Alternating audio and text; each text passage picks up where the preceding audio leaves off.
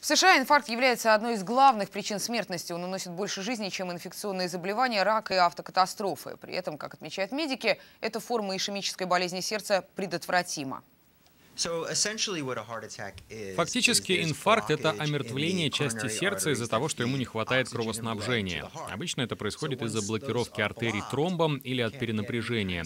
Сердцу перестает поступать кровь, и оно умирает. В Америке только за последний год от инфаркта скончались 600 тысяч человек.